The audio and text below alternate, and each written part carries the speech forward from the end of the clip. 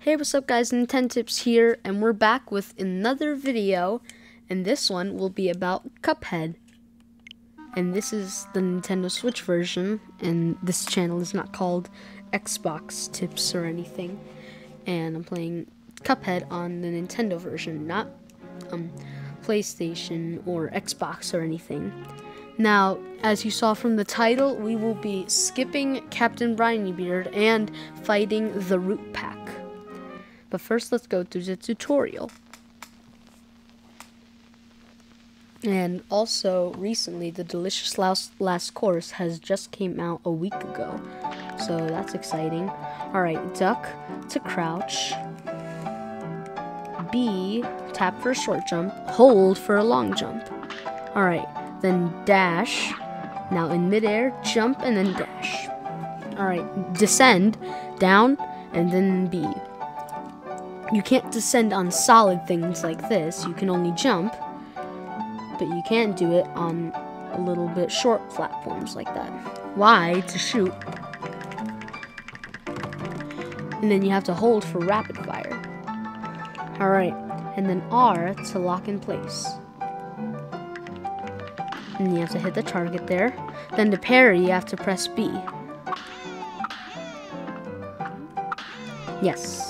Then to parry a ghost, I mean, it, in order to revive a dead person, you have to parry a ghost. And it only works in two-player mode. And A for an EX move. Usually it's a normal one. For example, for this move, it's a bigger version of it. And for this move, it's a bigger version of it, but in all directions.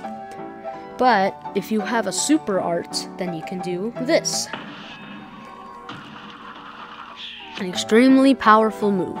EX moves are just moves that are more powerful than your average moves.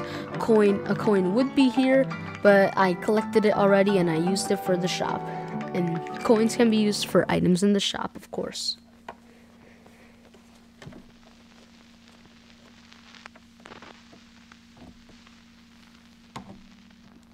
Alright, time to leave this house and do Botanic Panic.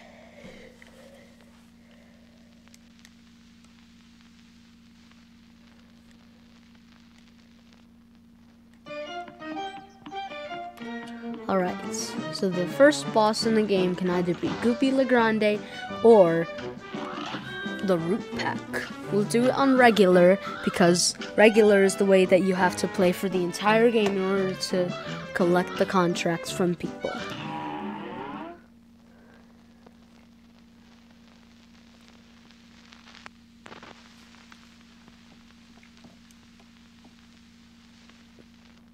Alright, this is my favorite music too. Now, this potato spits out dirt balls and sometimes worms. Now, you can usually parry them, but I am really bad at parrying, so I probably have really bad examples. Alright, then in the next stage, it's an onion that cries, but if you don't attack it, it turns into a radish and it makes the last stage harder. I would rather you just attack the onion and deal with it because the last stage is already the hardest stage, of course. Alright, now that we've defeated this onion, we move on to the carrots, which he kind of spits out carrots at you, which is kind of weird. And then he tries to hit you with weird rings with his third eye, I guess. Alright. Now, at first this boss might be hard, but if you follow my simple directions, then you're probably going to be okay.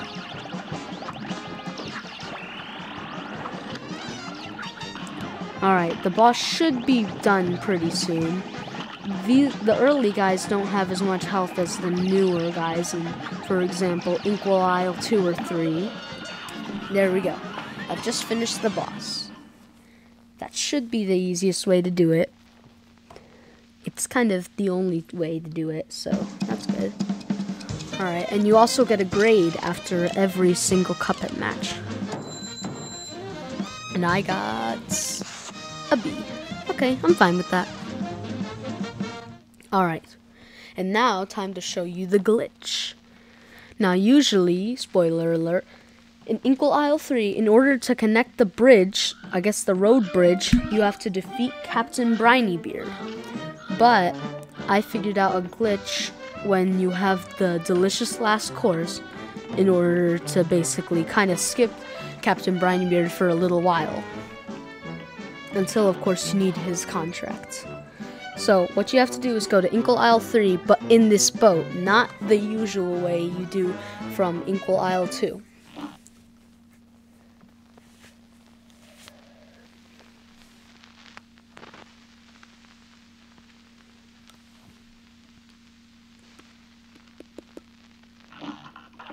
Alright, and now you're on the other side.